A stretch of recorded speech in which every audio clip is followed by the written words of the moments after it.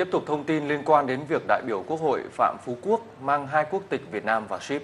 Ngày hôm qua, ông Quốc cũng đã thừa nhận việc này và sự việc diễn ra từ năm 2018.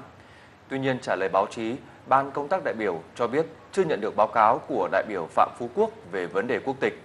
Ông Trần Văn Túy, trưởng ban công tác đại biểu của Quốc hội cũng khẳng định, tinh thần chung đã là đại biểu Quốc hội thì không có hai quốc tịch. Thông lệ quốc tế cũng vậy, đại biểu Quốc hội không có hai quốc tịch. Trước thông tin có quốc tịch Cộng hòa Síp, đại biểu Quốc hội khóa 14, ông Phạm Phú Quốc cho biết, thời điểm ứng cử đại biểu Quốc hội tháng 5 2016, ông chỉ có một quốc tịch Việt Nam. Tôi khẳng định việc tôi có quốc tịch Síp là do gia đình bảo lãnh, hoàn toàn không có việc mua quốc tịch với giá 2,5 triệu đô la Mỹ. Trưởng ban công tác đại biểu của Quốc hội thì cho biết, tới đây sẽ đề nghị đại biểu Quốc hội Phạm Phú Quốc cung cấp thông tin cụ thể, đoàn đại biểu Quốc hội Thành phố Hồ Chí Minh và Ủy ban Mặt trận Tổ quốc Việt Nam Thành phố Hồ Chí Minh nêu quan điểm.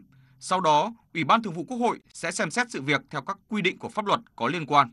Câu hỏi được dư luận quan tâm lúc này là đại biểu Quốc hội thì có được thêm quốc tịch không?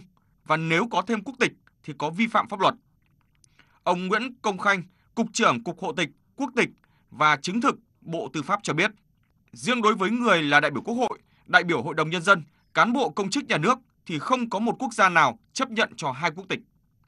Phó trưởng ban dân nguyện của Quốc hội thì cho biết, cử tri họ băn khoăn là có cơ sở. Đại biểu Quốc hội là người đại diện cho ý chí, nguyện vọng của nhân dân ở đơn vị bầu cử ra mình và của nhân dân cả nước. Nếu một đại biểu Quốc hội lại mang hai quốc tịch thì sẽ đại diện cho ai?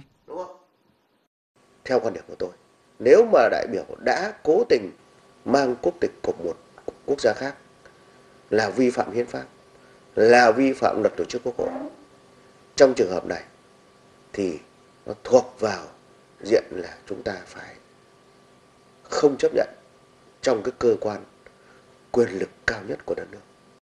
Trước thông tin ông Phạm Phú Quốc cho biết có quốc tịch Cộng hòa Ship từ năm 2018, ông Lưu Bình Nhưỡng đánh giá nếu đúng như vậy thì đại biểu không trung thực trong kê khai hồ sơ. Đại biểu Nhưỡng cũng thẳng thắn cho rằng Quốc hội khóa 14 có nhiều vị đại biểu đã bị xử lý cho thôi tư cách đại biểu dân cử vì kê khai không trung thực. Qua sự việc của ông Phú Quốc, cần nhìn lại khâu giới thiệu, thẩm tra. Ai là người giới thiệu? Từ cấp tỉnh cho đến cấp trung ương. Thì những cơ quan có trách nhiệm giới thiệu họ. Những cơ quan đứng ra đảm bảo cho họ. Những cơ quan mà thẩm tra, thẩm định tất cả những vấn đề có liên quan đến họ. Chứ tôi không nói chỉ là lý lịch nhé. Lý lịch nó chỉ phản ánh một phần thôi thì những cơ quan đó bây giờ chúng ta phải đưa lên trên mặt bàn để xem xét chứ nếu không thì tất cả là đánh bùn sang áo chả ai có trách nhiệm với vấn đề này cả.